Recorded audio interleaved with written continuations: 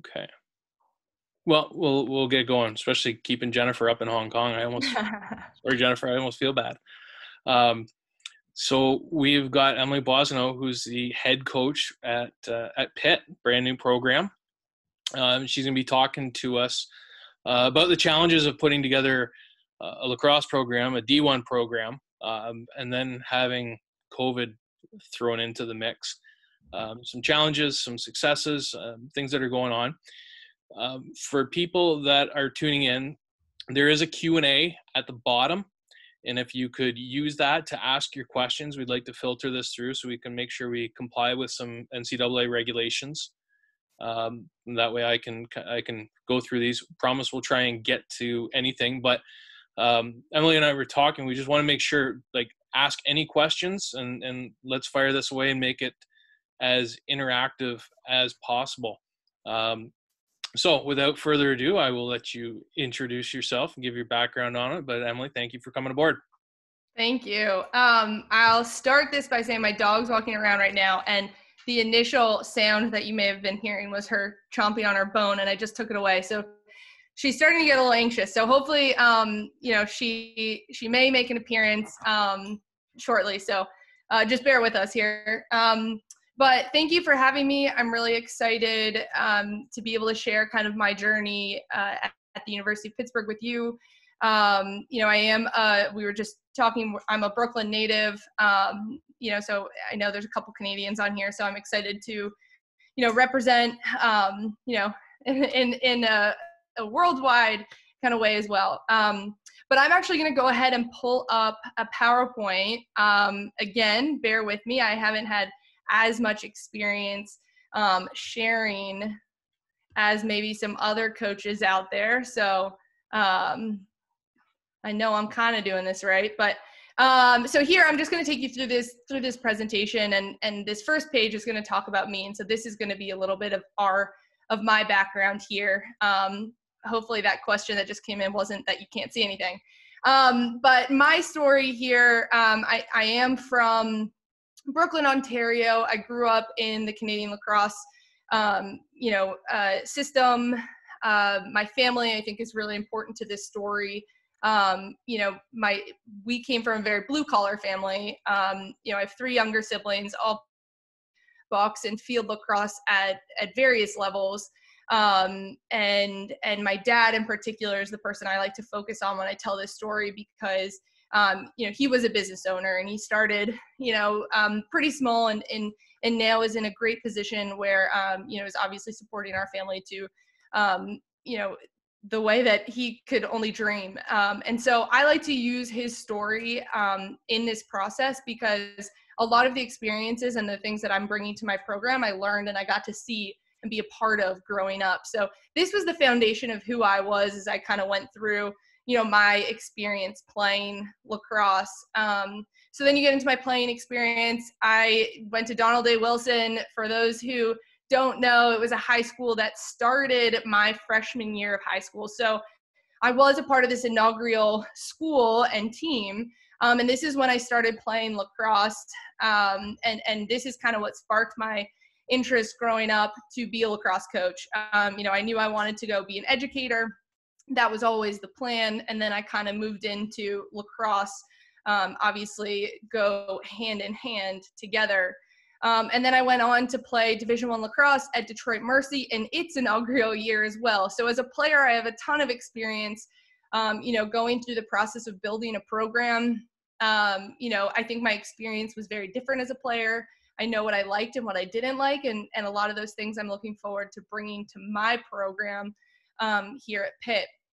And then I was fortunate to be a part of of Team Canada um, in, in the last two World Cups, and through these experiences, and when we go into my coaching experience, I think again you see that building mentality. I didn't start, you know, going through Canada lacrosse like a lot of my peers. I did the complete opposite. I went I learned, I built myself as a player, um, and then continued. And and you know, I I have to um, thank Canada Lacrosse because that's where I think I truly hit my peak as a player. Um, you know, so these experiences continuing to build me to where I I am, and that took me to my coaching experience where I really got to apply the things I had learned. Um, and just like my playing experiences, my first coaching experience was at a second year um, college. So I was at uh, Winthrop University um, for two years, where I worked in the second and third season of that experience. Um, again, learning from you know from from John Sung actually, who uh, is now at Virginia Tech. Um, went on to work at James Madison, and you can see again, I'm building myself. I'm taking myself to that next level. Um, and at James Madison, over the four years there, we were able to accomplish something pretty ex- pretty exciting. Um, you know, as a coach, um, we won the national championship in 2018, and that was you know obviously the peak of my coaching career so far. Um, and and um, you know, it was a really important building opportunity for me. And, and what I take into this program now at Pitt is I've seen the end goal of what I'm trying to do here. You know, I got to play and coach at a new university, um, see the ups and downs, and I got to see what a 50 year um, program looked like and what I wanted to build here at Pitt. So this opportunity, you know, didn't scare me. I think it's an opportunity that kind of makes sense in my experience. And so that's kind of where um, how I got to the University of Pittsburgh. Um, you know, I was ready to be a head coach. I've always been a type A person. I love being in charge. Um, you know, my nickname is Boss, um, mostly because my last name, but I also like to be in charge. So it works well together. Um, but I think what's really important to talk about before I just dive into what it's like to start a Division One program, I think it's important for me to to mention that the University of Pittsburgh is doing this the right way. Um, I'm fortunate that We've been granted the funding we need to make this a successful program, which is extremely important. Um, college athletics is expensive, um, you know, and especially being at a Power Five school, um, in order to be competitive, they we have to be at par with our competitors. So I think that's really important for me to mention because that's not the reality for every Division One program out there. Um, and then I'll talk about my timeline because that's a little unique to um, you know to my this this specific um, you know situation. So really quickly, I'm going to talk to you about some of the benefits and barriers of uh, of starting a program. You know, I try not to look at the barriers too much. I think I can overcome them, but um, the benefits are pretty exciting. Okay, the first two are really important, and this is where I'm going to drive the majority of this conversation is is creating culture and building leadership. I think this is probably the one area that the majority of the coaches in the country get a little bit of get a little jealous. Um, I get to start it my way. I get to start that culture. I get to be a part of every step, um, and we get to build the leadership the way we want, opposed to going into a program that's already established and trying to change or alter something that's already been established. So these are huge benefits for me, um, you know, and I get to pair them along with my philosophy. So this is something I'm particular excited about.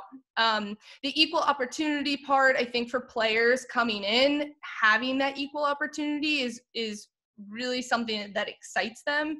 Um, you know, if you're a freshman joining a, an established program, there's always going to be opportunity to play. The best 12 are always going to be the ones that hit the field, right? The ones that are playing at their best. Um, but at Pitt, we don't have established roles. We don't have um, you know people that are going that you're going to have to fight over. Everyone is coming in with a clean slate and so that equal opportunity was something that i think especially our recruits found a lot of enjoy or found a lot of passion for. Um, the personal growth part it's huge. We're going to talk about that throughout this entire process because it's going to tie in with the leadership and the culture. Um, uh, I love this comment. They don't know what they don't know. Shelly Claesbach at James Madison used to say this all the time to the upperclassmen it's our job, or she would say, it's our job as the upperclassmen and the coaching staff to teach the younger athletes, you know, how we behave and how we respond to things and how we approach certain situations. And so for us as a coaching staff, um, you know, we're going to be able to say, you know, they don't know what they don't know. Everything that they do every day, every time we step on the field, we're going to help dictate that standard and that structure. Um, and then you look at the next point, it kind of just ties in with what I said. We set the standard. Um, so every opportunity for conflict, every opportunity for competition, every opportunity for personal growth um, uh, or setbacks is an opportunity for us as coaches to be setting a standard early that we can continue to meet or exceed uh, instead of having to to um, go back or change. Um, and so we're pretty excited about that opportunity as well. Um, and then we're playing in the ACC. So for those of you that don't know, it's the you know elite lacrosse conference in the country right now. Um, so this is a huge benefit. It's also going to be on the barriers list. Um, but it's a huge asset because I think, you know, it draws in a certain caliber of athlete, which again is going to put me at a bit more of an advantage than maybe some other newer programs. When I go over into the barriers, um, you know, some of these are things that are easy to overcome, but some of them are a little bit more challenging. And um, the first one, getting everyone to buy into the dream, I think is sometimes it's easy and and it's you know um, I, I have to really share that vision and really get them to see it. But um, you know, some people don't want the challenge, um, and and I think um, or they have doubts, and so I think that's been challenging for us. Um, the recruiting process specifically, um, you know, but we always talk about you have to be all in to start something. You have to be, um, you know, because when we talk about setting those standards and setting that leadership, every way that I, I react or I communicate in front of my team is setting a standard. And if I can't live by that philosophy every day, um, then it's going to be easy for that to flop and turn on me. So, um, getting people to buy, buy into that, it, it's about 100% um, committed and and um, and disciplined in this process. Um, playing the long game. This is something I'll talk about. It's a part of my part of my end goal, my plan. Um, but uh, you know, and we'll talk about the timeline soon as well. But um, you know, there's a lot of steps that have to be done before we get to the team, and a lot of people want to talk about when the team is here, but that's really not my priority right now. My priority is getting a lot of things in place, putting the right people in place, so that we can create a legacy or we can um, create a strong foundation to build this team up. And so staying committed to where we're going instead of um, instead of what the goal at the end is going to be and, and how we're getting there in those steps is really important. Um, lack of game experience, we're going to talk about a ton. Um, you know, that's an obvious one. I'm going to be dealing with a lot of young athletes that haven't played. Um, lack of social experience. This is another big one that we're going to talk about a lot, um, but making good decisions outside of, of my time with them.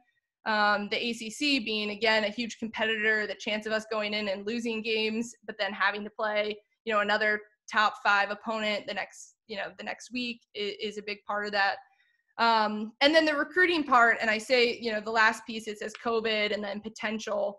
Um, you know, every class that I've been recruiting is impacted right now, and and it's going to impact us as well. Um, you know, I always say we we recruit athletes off of potential. Um, I don't recruit them based on how good they are now. You know, I need to know that they're going to be better when they get here. Um, and so, you know, not having um, a game, a playing season, not having the training, um, not being out and watching some of these kids playing, that's going to affect um, the, the trajectory of what that potential was, you know? I, I mean, I trust that all our girls are out and they're training and they're doing everything they can, but it doesn't give back uh, playing experience. It doesn't give back, um, you know, their quickness or their ability to read a defense when they're coming in, um, you know, going to do their dodge. So that's probably you know the biggest barrier that i'm concerned about right now with covid um, and, and, starting this new program is is that potential that we may have to make you know some or have to help these players with once they get here so i'm trying to give pause in case there's questions but um, our timeline and this is unique um, well, for us is go ahead no let me stop and there was one question but sure. i don't know if you're going to reco- um, cover it l- later on, but it's mm. to do with recruiting and dead periods right now. So, uh, so yeah, I mean, I'm not going to talk about it, it, huge, so I'll go ahead and, and. Okay, so the question was with the NCAA dead period continuing and no waivers as of yet for August, what are your thoughts for recruiting this summer? Um, I mean, I think the benefit is is film. Like, I mean, I probably spend 50% of my work week watching film right now.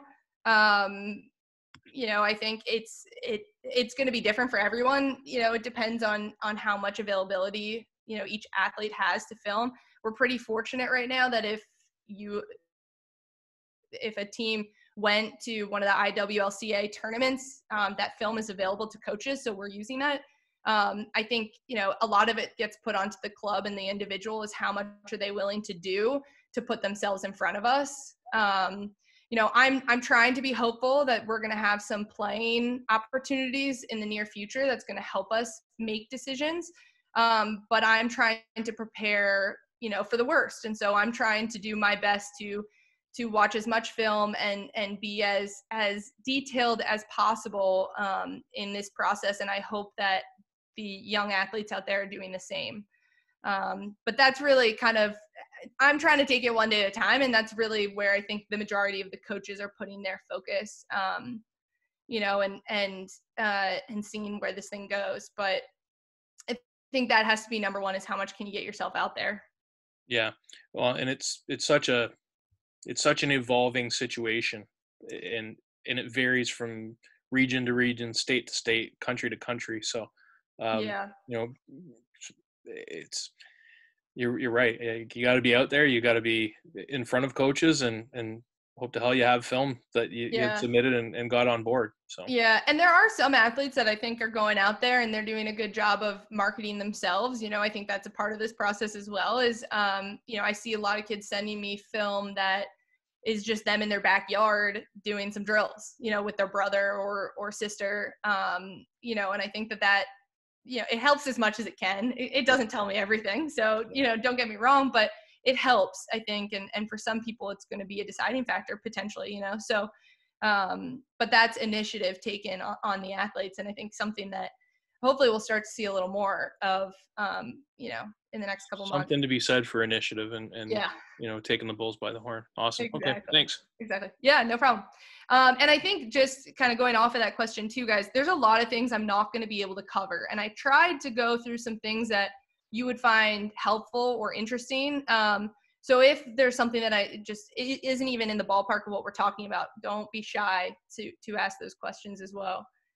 Um, but the timeline again, this is very unique to um, to Pitt, and I'm really fortunate. They gave me two years to recruit before um, our first playing season. So year one, I'm coming up to the end of year one.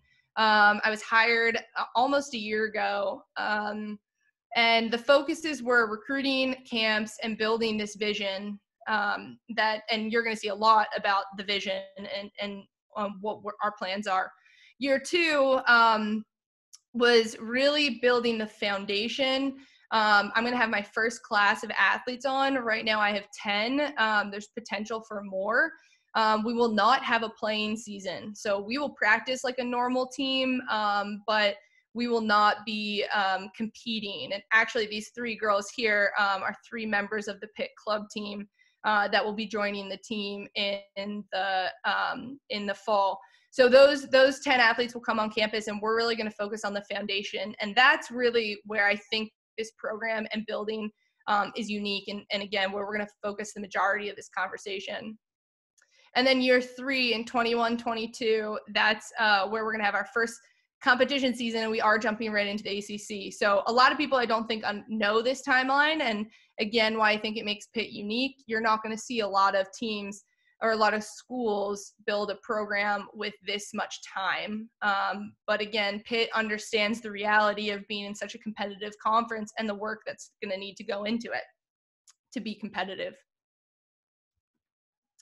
Um, so goals, you know, for year one to three, um, ultimately, I'm trying to create a long-lasting foundation, and there's a couple things and these goals that we're going to go through that I do believe are going to be a big part of this long-lasting foundation. And one is obviously I need to build this team, and, and recruiting is a huge part of that.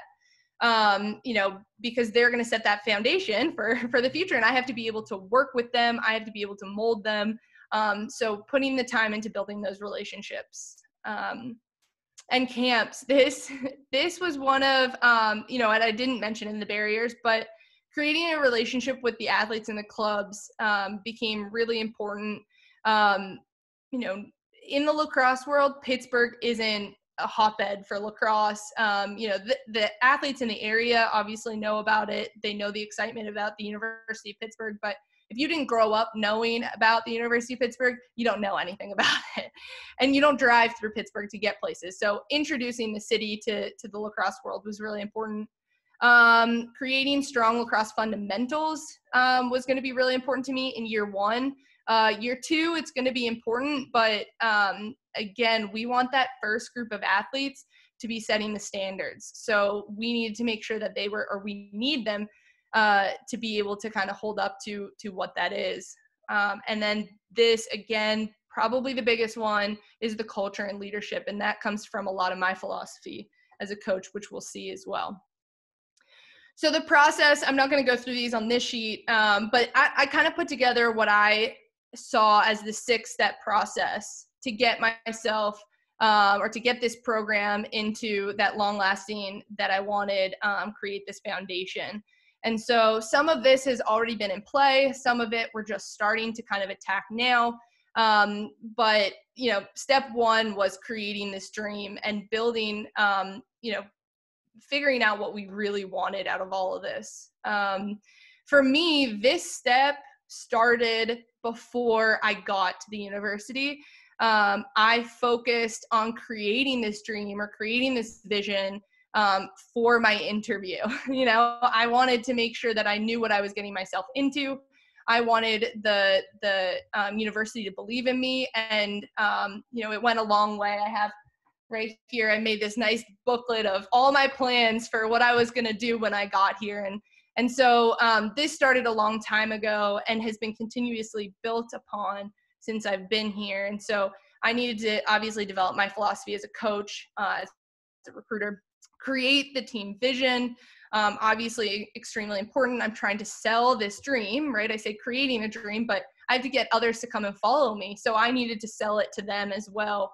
Um, and so I needed to have an idea of where we were going. Um, the five pillars of Pitt lacrosse, I'm actually going to share you share that with you. That's step two. Um, but I had to create this first and then figure out what it was going to mean to the team. Um, so we'll we'll go into into more detail about that. And then I really focused on what Pitt had to offer. Um, you know, what was what was this team gonna gonna have? What was to be special about Pitt? Um, and so, you know, these go into my philosophy, but also what I was excited about, what Pitt was going to be. Um, you know, part of my philosophy is this, I call it the three part experience. Um, and, and you're going to see, I'm going to talk about happiness a lot throughout this. And, and the three part experience is a huge, huge selling point for my recruiting process. But I, um, you know was fortunate to be a part of the James Madison National Championship as I said and one of the most unique parts of that program was the athletes genuinely cared for one another um, they loved their experience. They were really good at being great academics. They were incredible athletes and they valued their social lives. And i know that some coaches don't you know share that same philosophy as me but I think in order for us to get the most out of our athletes, we um, they have to be happy, and you know that's the only way I think for me to to um, get the most out of them, for them to enjoy this process and to buy in and to find value in what they're doing. Um, so this was something that was really cool. Pitt, you know, obviously has a lot to offer, but it, it was going to give the athletes that I was looking at, you know, the full experience, which I thought was really important. Um, not to take away from the fact that the fact that academics and athletics are priority um, but i think there has to be some wiggle room within reason so um, you know I, I, think that's really important not every coach is going to agree with me but um, again the opportunity piece we talked about that academics um, is huge pitt was just announced the second time um, the best Northeast university in the country. So that was really important to us. And then, um, you know, athletics being in the ACC was huge. And then this commitment to championships was really important. Um, you know, Pitt is going undergoing a lot of changes right now, and and that's because we're trying to create a, an environment of championships. So obviously, really important. and then year one what are we going to get out of it what are the what's the goal and so you know i already talked about it but the foundation of this program and these were the areas that we were really going to focus on which i already kind of spoke about we have some questions in there i saw some things flashing yeah yeah a couple and okay i mean very very much um, to do with your year one so oh sweet um, one of the question was you know how much have you talked to other Pitt coaches such as jeff capel and um, uh, I think it's Pat Narduzzi is the football coach yep. to help set foundations of the program. So I think that that's um, you know the COVID's really hit us here. Um, so when we came in, football and basketball were were like really at the at the start of uh, of their seasons, and so we haven't had the time that we would like to be with them. Now that doesn't mean I haven't had great conversations with them and their staffs. Um, you know, I think Pat in particular um, has a great foundation and platform for where his team is going to go in terms of, of leadership and, and foundation. Um, and and I've been fortunate to be able to see some of those documents, and and you know I'm excited to learn from him. Uh, Jeff Capel, I yeah I love basketball.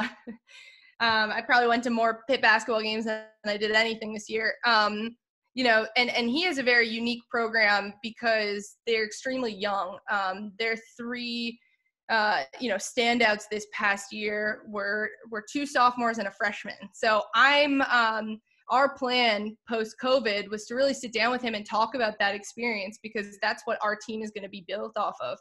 So um, you know, I haven't been able to dive into that as much as I want to, but I know that they're going to be a strong resource, especially like I said, with Capel going through, um, and sorry, for those of you that don't know, Jeff Capel is our basketball coach, uh, and, and Pat Narduzzi is our football coach. Um, both are doing great things here at Pitt. Uh, but uh, yeah, Capel has been dealing with some things that I think we're going to have to manage as well as a young team. So I'm excited to see how he did that. And and one of the things I got I was really excited about was every time you watch them play, they just seem to be improving in terms of maturity. Um, you know, and I think there's some ego management that you have to deal with as as a young team as well. So um, that's something that I know that we're going to have to focus on um, going through this process. Awesome. Hopefully yeah. That... No, that's great. I mean, Capel was a Carolina killer when I was at school. Oh. Um, so I can't say I was a big Duke fan at the time, but I followed his coaching career afterwards because it's always nice to see what people are doing after they after they're done playing. Yeah. Uh, so uh, just a follow up question to that was on philosophy and whatnot um, from one of our friends actually across in the UK. Uh, and I think I know the answer to this, but I'm not mm-hmm. quite sure. But it was number one, did you play box lacrosse growing up?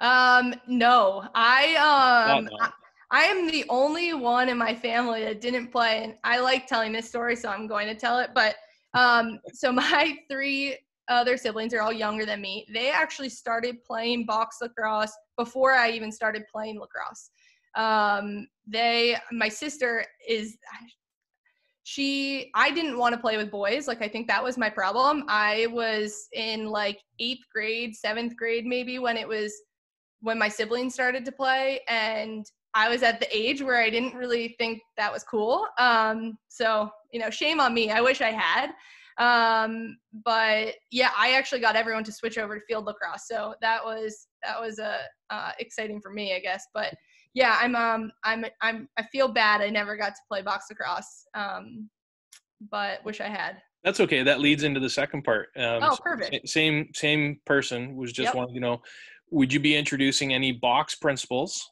oh, and Canadian question. influence into the Pitt culture? I love that. So one, I think the Canadian um, the Canadian lacrosse culture, box or field, is extremely physical. Um, and I love that. I think that that's something that connects me with the city of Pittsburgh too. You know, um, we we talk. I mean, we're the Steel City, right? So if you guys don't know, that's what we're the Steel City. Um, so you know, the big, rough, tough, blue collar, blue chip, like that's who I am. That's how I was raised, and so I'm really excited to have that same thing. Um, I coach the defense or I coach the defense at James Madison. And I hope if any of you had an opportunity to see them play over the last four years, you saw that toughness, that physicality. And that's what I hope to bring here at the University of Pittsburgh. Um, in terms of the offense, uh, I'm, I'm hoping to, you know, um, I, am I'm, I'm hoping to hire someone that can take that end of the field over. Um, in terms of the actual box lacrosse, I'm hoping that this is going to get people excited that that that know box lacrosse, but Pittsburgh is surrounded by outdoor um, arenas. So I've already gone ahead and made some some uh, rented some of these facilities so that we can kind of go play some box lacrosse. So I'm really excited about that. Um, one of the big parts about starting a program without a playing season is keeping athletes engaged and inspired and um, giving them opportunities to be competitive and be creative. And so um, I uh, have gone ahead and, and provided some opportunities already within our next fall and spring season um, to introduce the girls to that formal cross and and to hopefully inspire kind of um, you know some some creativity and some competition. Awesome, thanks, Em. Yeah, no problem. Um, okay, step two, the pillars. Um, so creating this Pitt lacrosse identity. So we're gonna see five, um, what I call the five pillars. They're the the words actually in bold, not in not highlighted.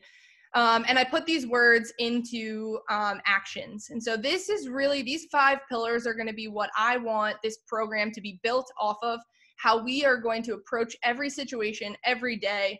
Um, we're going to keep these things in mind. And so um, the reason this is step two is because it became really important in the recruiting process. Um, and the words that are going to be highlighted in yellow are the words that I looked for, the characteristics I looked for in our recruits. Okay. So grit, eh, you know, we will be tough and resilient fighting for our goals. And resilient became the really important characteristic when we were looking for athletes because we know, and I don't want you to take this the wrong way because people have taken it the wrong way.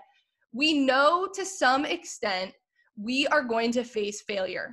Okay. Um, whether it's a game or we're at practice, um, it's in the academics, socially, every single player on our team, individually or as a team, we are going to face failure to some extent. And the athletes need to be able to be resilient and to find ways to overcome it. Okay. And so in the recruiting process, we were very explicit with our athletes that we needed players that were not afraid to fail, that we they were willing to do that in order for us to get better. And so resilient became a really big part of our recruiting process. Who could show that and how could we evaluate it? Um, you know that that was really important which goes into passion because i think that you know you have to have that in order to have that grit. And this is probably my favorite one. We will be fearless attacking every situation with pride and enthusiasm. And i say that because fearless is probably my favorite word um, to be described or to describe someone. And i think every athlete that we bring in here every coach every person that's a part of this program has to be willing to be fearless. And um, and, and again, that goes into this idea of, of these barriers that we're going to face and being willing to, again, to be faced with with failure or fear and and to overcome it and to find a way to push through. And um you know uh Dom Starsia for those that you know that name um he was a head coach at the university of virginia for years um and was extremely successful and and he always uses the word fearless that it's the number one attribute he looks for in a leader. Um, and, and it's because they need to be willing to speak up when others don't don't agree.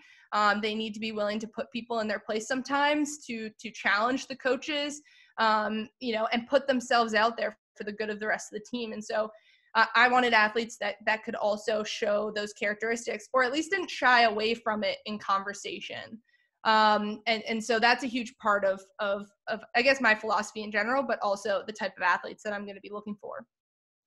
Uh, dedication, we will be disciplined, committed, committing to our goals. This is probably the hardest to evaluate. Everyone and every parent in the country thinks that they are dedicated and disciplined. Um, so it, you know it becomes harder to to evaluate, but I think this goes. Um, you know, how much are you willing to do to reach your goals? And for us in this recruiting process, if athletes wanted to be a part of of building something you knew that there was some type of dedication because it wasn't going to be easy you know and that was that was a conversation that we had um, again with a lot of the recruits was this isn't going to be easy. Um, family we build relationships finding value in people. Um, again we're going to talk about building that culture and leadership as we kind of move forward and none of this is going to be easy without building strong relationships that we can push each other in um, and and we truly find the value in, in those people. And so um, you know we're going to continue to build off of that. But with the failure or the chance of you know making mistakes along the way having the people that we're going to support you is going to be is going to be really important to our emotional um, ability to manage through this. And then character was the last one. We will make good decisions helping us become stronger individuals and community members.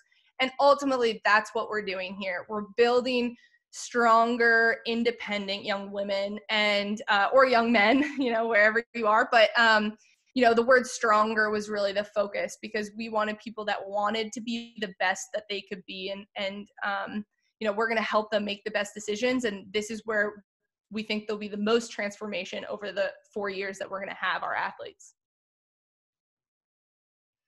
uh, so step three was introducing the lacrosse community to Pittsburgh. I mean, this was challenging to some extent. Um, you know, nobody knows what the academics, athletics, or you know, me as a head coach was going to be like. Um, you know, in this process. So educating, uh, you know, the lacrosse community was really important. I would say the majority of athletes that are committed to us have never been to Pittsburgh. Um, so that was a challenge in itself, convincing people to come to see it. Um, you know, huge focus for this last year and next year is going to be camps. We were lucky to host some very successful camps.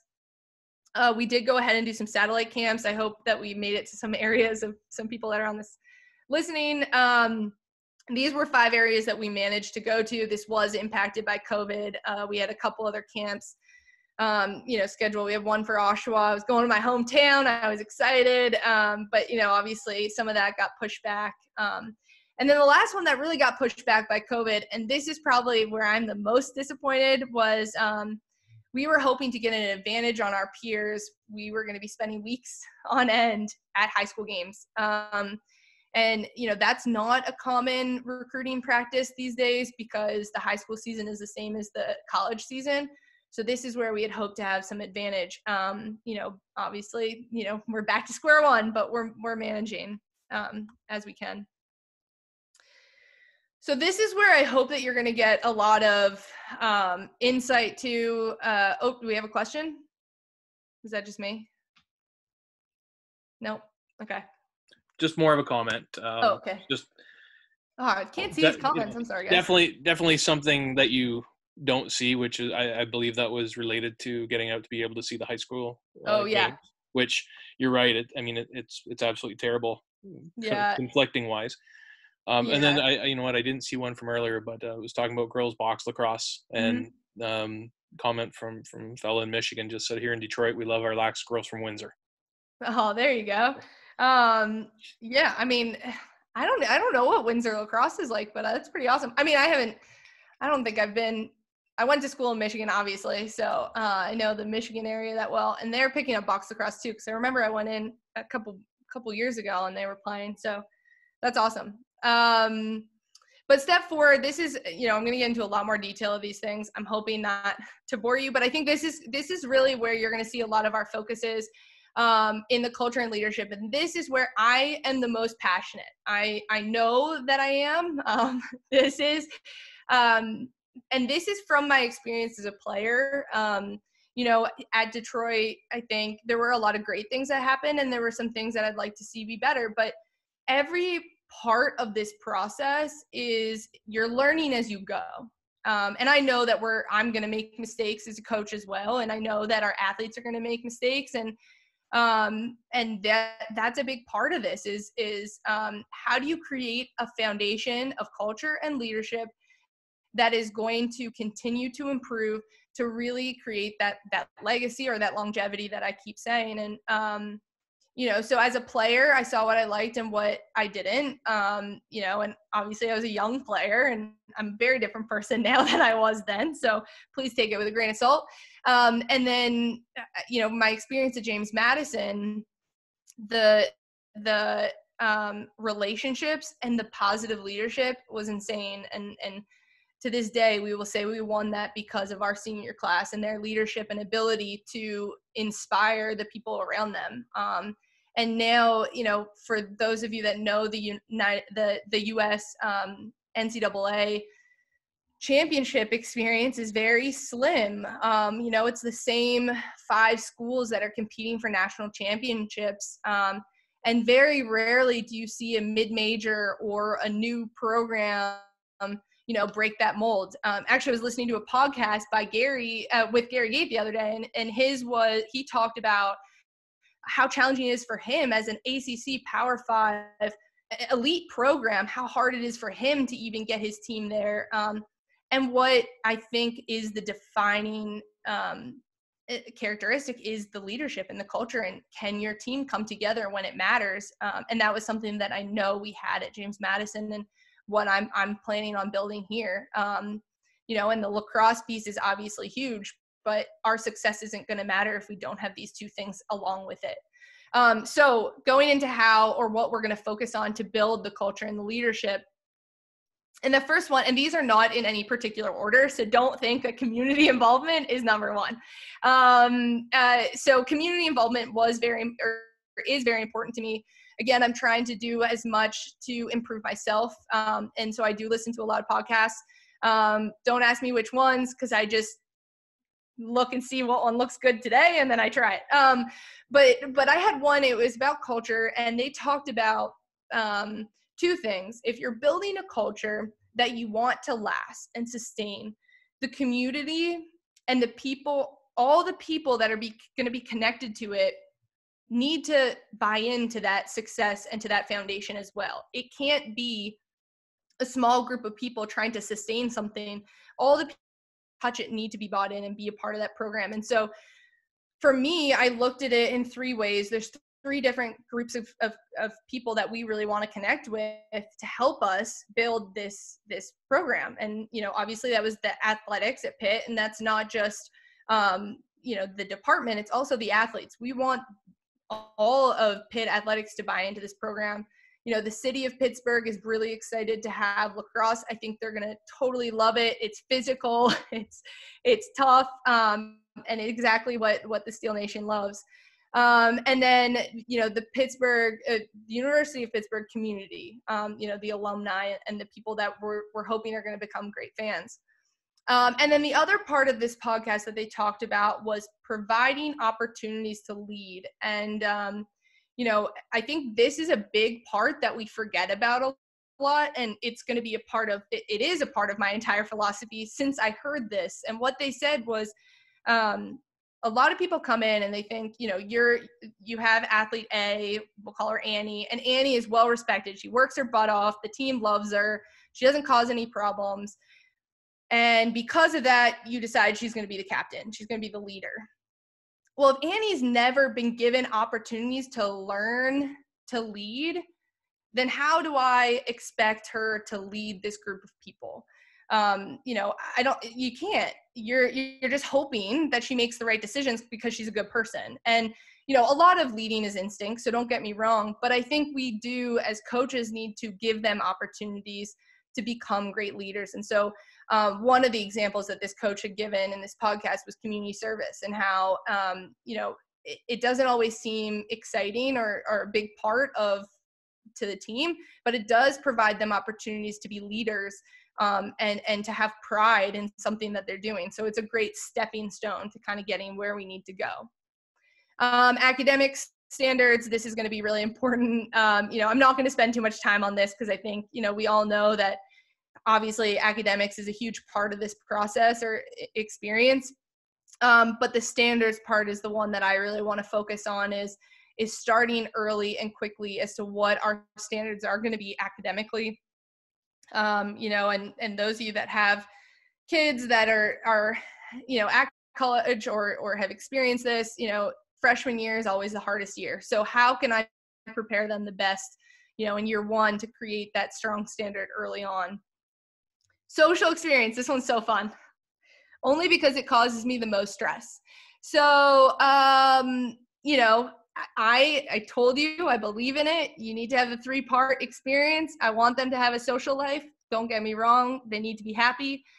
But it, you know, this is probably without social experience coming to college and it, without having people to lead you into making good social decisions.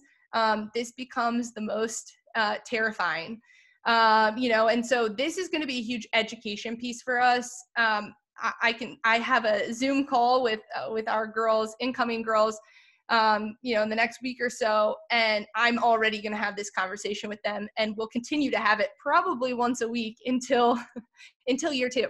Um, so you know, reminding them what the sacrifices are, what where we're trying to go, and why. Um, you know, what kind of reputation we're trying to build here at Pitt um, you know again we're building something so whatever happens you know in our you know our first month of school you know that's how we're going to be viewed as a program and, and so you know making sure that we're teaching our athletes how to manage um, you know peer pressure how they're going to manage um, you know their friday nights is really important to us and making sure that we're making smart decisions and so i think that this is going to become a more heightened um, focus for us just because eh, eh, you know and i hate to say this but it's the reality of our sport is you know there is a big social aspect to it. And so um, teaching the girls young uh, how to manage that um, and then hazing i mean as it should be the laws in pittsburgh are extremely um, uh, strict.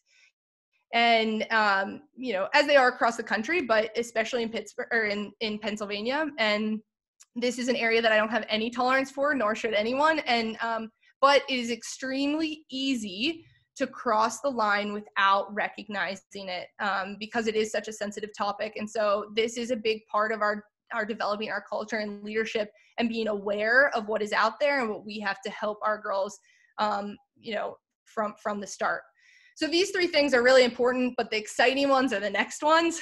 so um, you know the first one uh, on this page how we communicate so education um, you know again is going to be extremely important um, we're young managing emotions is is a big part of this cultural leadership um, development. Um, and and i say this because you know it's one thing socially or off the field but on the field you know our emotions are running hot and we tend to say and do things that we don't always um, mean. And and so teaching our athletes early on how to respect one another how to communicate when they are frustrated how to follow up when things don't go the right way um, you know and, and i this is something i've, I've had to learn um, for anyone that knows me on on this call i know stephen taylor was on here at one point uh, i don't know if he had to manage me ever um, you know as an athlete playing but uh, he was a, a, a local ref um, so you know he got to see me at my best and worst as a young player. But um, you know I still to this day make mistakes as a coach um, and have to follow up with the way that I manage my emotion as well. And um, I think that this is a big lesson for a lot of our athletes. And if we're going to create that family environment, we have to be willing to address it uh, when it is uncomfortable. So that's going to be a big focus for us is how we're doing that um, how we train. These are three really important things to me and how we're going to start this program. Um, you know, I say with purpose all the time. Right now, we we communicate with our our committed kids once a week. We write a nice little letter to them with some lessons, and we talk about um, purpose all the time. I always end every everything with practice with purpose. Um, you know, if you're going to go out there and throw a ball against a wall, you better mean it, right? Like, don't just go toss a ball against the wall throw it like you mean it and get yourself better and and so that's something that's really important to me um, you know there's going to be value behind everything um, and and another book recently read uh, uh, legacy um, i'm sure a lot of you have read it if you haven't it's incredible they talk about building culture the whole time uh, and one of the things they talk about is putting value and purpose to what you're doing. And, and I love doing that as an educator when I'm doing a drill. There's always going to be a purpose. You're always going to know why we're doing it and, and how it's going to make you a better player. Um, because when you give something purpose and you, give it value to your players, they're going to buy in, they're going to believe in it, and they're going to want um, to, to be successful. So, really important to me. Extra work. This is a huge one to starting a program. Um, you know, we can, the school can give us as much money. I can get the best players. There's still going to be a disadvantage for us when we jump into the ACC. Um, because of the lack of playing experience. And um, so we have to find a way to get ourselves as close to that um, to, to our opponents as possible. And if we can get every single player on the team to be giving just a little bit more um, and giving and making that a part of this culture, then we're going to get a little bit closer. Are we going to be there on game day? Maybe not. Like, but can we close those barriers and make it a little, you know, a little tighter? Um, and the last one is how do I create challenges so that we can test all of this? And um, the challenges are going to come at practice. They're going to come through inter squad scrimmages. They're going to come through weight training. How do we challenge them, put them in uncomfortable situations so that we see their emotion, we see them reacting to situations, and that's when we can evaluate and and and teach them um, you know how we want to be communicating and working together. So those are the three most important things that i'm going to look in every practice. How are we incorporating that? Um, and some of these things i already have you know we already have things in place that are going to help us build those. So if you have specific questions about that please do ask. Um, and then the last part of this how we're developing this culture and leadership is is creating that family atmosphere and this is one of the things that I think is really special. Um, and, and, I've been able to have conversations with our, our incoming class and then the 21s as well, is our relationship as coaches is going to be so much so different than any other class will ever have um, and, and, that's because we're going to be involved in a lot of decisions that make, they make in their lives you know um, and I, I joke about it with some of the girls like yes i'm going to be your coach and i'm going to be telling you what to do and you're not going to like it all the time. But there are going to be times when i'm going to need to be the person that's helping you manage a, a more uncomfortable situation um, because you don't have the seniors to be leading you through that. So um, this is really important to me. The three things in here again i'm extremely passionate about. The first one respect roles and hierarchy. Sounds like really odd things to be put together but um, you know, in, there's always going to be hierarchy, and I put a question mark behind, beside it because, you know, there, the hierarchy is going to be there, but you know, we have to find a way to respect each individual and each role as we go through this process. And the reason that becomes so important in year one is that by year five, when we have 35 to 40 athletes on the team, and we've grown every year, um, the roles are going to become more and more diluted just because the, the number of athletes. And we have to be able to respect and inspire one another, even though our roles are going to be constantly changing. Um, and, and, so that's something that's really important to me. Another great book, sorry, um, that I just read and I absolutely adore it is Wolf Pack. If you're coaching young women, you have to read it. It's incredible. Um, and I'm it's actually I'm probably gonna have my team read it the first week they're at school. It's like 75 pages. It's extremely short.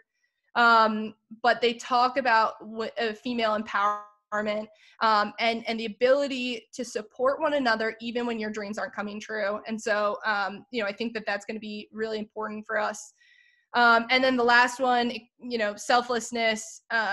You know this is a, very important quality in my opinion as a leader. Um, you have to be willing to do the grunt work. And um, you know i think a ton of culture books will tell you you know the captain the senior leader the coaches you know they have to be willing to do to do everything that they're going to tell anyone to do. And i think you know i'm a strong believer in that you know, if you turn to me and tell me that the freshmen are going to pick up balls, I will throw a fit. I can't stand it. Every single person out there needs to be willing to do to do the work um, to be successful because this isn't about earning respect. It isn't about um, you know having to to um, to uh, you know I don't know earn respect. That's really what I'm trying to say. Um, you know, it's about coming together for the common goal, and and if that's picking up balls at the end of practice, I'm going to do it. Um, you know, and and you know, my whole staff is going to do it until the team recognizes the importance of of how how to come together and be selfless. Um, any questions about that part? I'm sorry, that was a lot there, but I this is probably my, I'm most excited about this part. Um, somewhat. I mean, it, so there is a question in there and a comment. So Chris Marucci from Metro Detroit, and I hope yep. I'm pronouncing that name correctly, wanted to thank you for being an inspiration and helping them, um, because apparently he sought some advice from you back in 2013. Oh, great! Um, when they were founding, sorry, uh, when Triumph Lacrosse was founded. Mm-hmm. Um, so he just wanted to thank you for that. His question was for student athletes wanting to pursue careers in nursing, pre med, yeah, uh, biomed. Do you envision Pitt being a university that students can legitimately balance those education fields with yeah, I mean, athletics? Yeah, that's a great question. I think, um, I mean, you have to find the right program. I, I mean, not every coach is going to say yes to that. I mean, it's just the reality of of what they're doing. You know, there's there's thousands of kids that want to play lacrosse, and and so you know, I hate to say athletes are you know a dime a dozen but to some extent they are. And so i think you have to find the right programs and the right coaches that are willing to take that chance. Um, you know at pitt um, you know it, it, definitely is an option. I think most programs are going to say pre-med is an option because you're going to go beyond the four years and that's when it's going to get more complex. Um, but it's not that it's not possible it's that that athlete has to be tremendously disciplined. I've seen a lot of athletes come through pre-med and have to change um, partway through because they're not getting the experience that they want which isn't a problem. Um, Pitt is definitely an option. Nursing i would say is more difficult. Um, i think you know it, you know coaches are willing to work with with athletes to a certain extent. So i think um, you know i'm hoping that it's going to be a place for that but we don't have anyone right now that's going through that process. Okay. Now um, we're we're up approaching that hour that we promised so eh, no, no, I'm not no, not ending it. I'm just if you're if you're good to keep going, I'm sure attendees will will remain on here. Yeah, I don't have much more. Yeah, I let's could go talk about this for days. No, if anyone's go. on this call that knows me, they know I like to talk. Okay, so the implementation, I won't go through it too much. Opportunities to lead, um, you know, this is something that I'm excited about. Um, you know, James Madison, we had we had a, a couple people that were in charge of community service every year on the team and equipment. I chose these five areas, um, and, and, next year each one of our athletes will be put on a committee, and and they'll be in charge of leading these these. So these are the ways I'm providing opportunities to lead. Um, you know, and and we're I could elaborate on that, but I don't think I need to. Um, leading through competition, we have these Panther packs. Um, this is common. They're inter squad teams. Um, I do it with groups of three, uh, sorry, three teams um, because I think that gives a little bit more ability to um, to have different competitions and and um, you know not just two teams. Uh, we will do weekly lessons, film, and chalk talk on the regular. Um, because again, you saw all the education pieces that we need to provide. So finding ways to give that to them weekly, um, we will be extremely uh, scheduled. So that will happen, um, you know, probably every Monday is what we're looking at. Uh, lacrosse wise, to reach our goals, and we didn't talk a lot about lacrosse, um, but I do intend to have a lot of testing. Um, I hate the word testing. I, am not doing it to tell them they're not good enough. I'm not doing it to tell them, um, you know, they need to be, they, they um, are failing. I'm doing it because we want to see where they are and where we need to go to create those standards, like I said, in that foundation year. Um, so we'll be testing often stick work, fitness, um, evaluating constantly 1v1s, dodging where they are, where they need to be um, in order to reach our goals as, as quickly as possible. Uh, I talked about both these books. Legacy and Wolfpack, phenomenal. And then we are planning some programming and events uh, in terms of having some people come and talk to the team, uh, people that have been a part of starting programs and people that have been a part of, of long lasting programs. Um, I'm cruising now. Okay. Uh, step three, playing the long game, or step six, sorry, playing the long game. Um, okay, so this is probably the most important part, and I left it for last where we're shorter on time. Um, but building trust, extremely important. I live and die off of this. I will spend so much time building relationships with my athletes because if they trust me, they trust the process. I know that they are going to give me more than they are going to give someone else. And so I will take the time to have um, conversations with each of my athletes and get input on a regular basis, um, you know, because I want them to believe in it. And if we don't have the same vision, showing them why.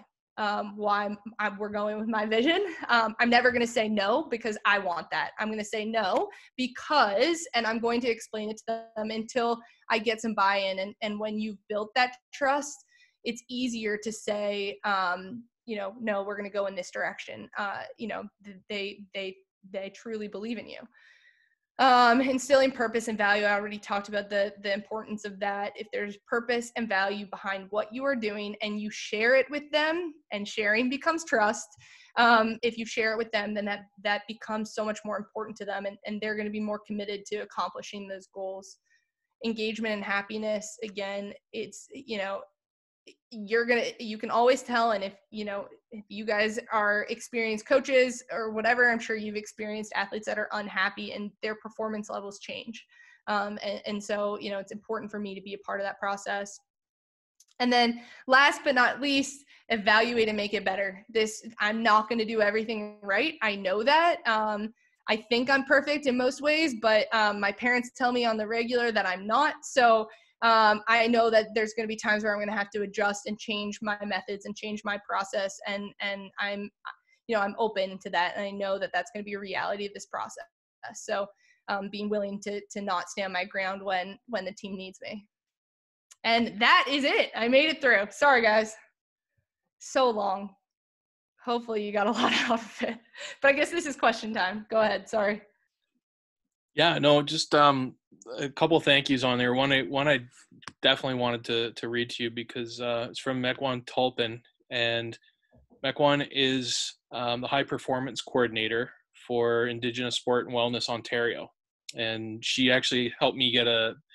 Um, she helped me get some speakers and and you know some ideas related to this but um, she just said you know really appreciate the thought and effort you put into this presentation delivered very well and wanted to compliment you on that and then thank she you. put the free word for thank you, which, and I'm hoping I'm not butchering it. I actually texted her and said, How do I say this? I believe it's Miigwech. You're welcome. If I could say it back to you well, you're welcome, I would. I'm yeah. sorry. So she's she's helped me quite a bit, and then just you know uh, a couple other thank yous. You know, it was great. Looking forward to the camps, and if you ever bring a satellite yeah. camp to Long Island, so we will. Um, and then Jennifer in in Hong Kong, thank you for staying up with us. Thank you. you. Yeah. Um, so let me just pull down here. Mm-hmm. Um, yeah, if you know what, if anybody's got any questions, I mean, we've got got Emily's email on there. I don't see any mm-hmm. coming in. It's more comments right now. Just a, yeah. a, lot of thank yous, which is awesome. Yeah, great. And I think if anyone listening too, if you do have questions, like I said, use that, or I didn't say, but use that email. Feel free to reach out to me. Um, you know i uh, i tried to stick along the things that you guys would want to hear about but again there's so many aspects to this that i didn't mention you know that that are really important um, but I, i'm hoping that you'll take a lot of value out of this and you got to see a little bit more about my philosophies as well. Oh no just some more comments. Keep the excitement and enthusiasm. Thank you and good luck. So great job emily. Appreciate Thanks. it very much yeah, appreciate. Um, oh, can, I don't know if you hear my dog's growling in the background now. Sorry. Okay. Um, um, yeah, no problem. This was a this was great. I appreciate um, everyone that was listening and everyone that's going to listen. And um, you know, hopefully, you guys are all going to be Pitt Pitt fans. Uh, you know, in the near future. So you know what? One question did come in. Sure. Um, and I butchered her name, so I, Migwan. I don't know. I, I just texted her again said, "Can you please tell me how to say it?" But have you any thoughts towards Indigenous scholarships or outreach at Pitt? You know what? Um, it's it's not an area I'm familiar with, so you know I want to apologize first of all. Um, you know, but I think for me, um, you know, hopefully this, you know, me sharing this email is gonna, you know, potentially start that conversation. I'd encourage you to reach out to me um, and help you know by educating me uh, you know it's it's again like i said it's not an area i'm very familiar with um, but not something i'm i'm you know would would shy away from. So uh, i encourage you to reach out and um, you know maybe we can start that conversation. I want the best for the program. I want the best for the sport. So whatever you know however we get there we get there. Yeah and i, I think there's some i'd have to look into it more but if i recall correctly there's some pell grant eligibility. Yeah so, mm-hmm. so that's something to look at. But uh yeah,